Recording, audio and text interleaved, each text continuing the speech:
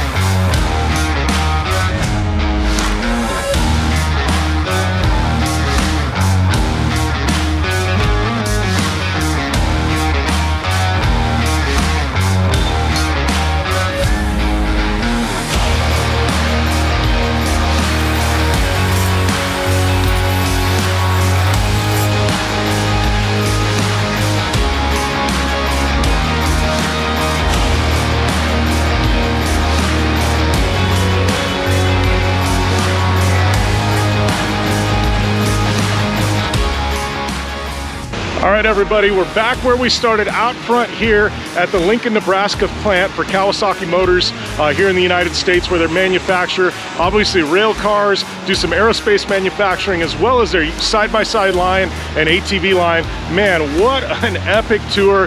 Uh, sorry, wasn't able to show you uh, behind the scenes with the aerospace division and also just a hair with the rail car division, but some amazing stuff behind the scenes. They've got some new products that are dropping uh, in the future we weren't allowed to see either.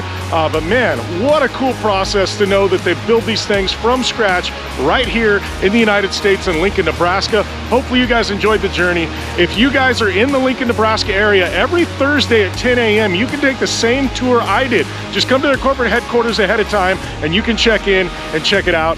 Uh, make sure and uh, subscribe here on YouTube. Give us a follow. And man, uh, thank you to Kawasaki uh, here in the United States for allowing me to uh, tour their amazing facility right here in Lincoln, Nebraska.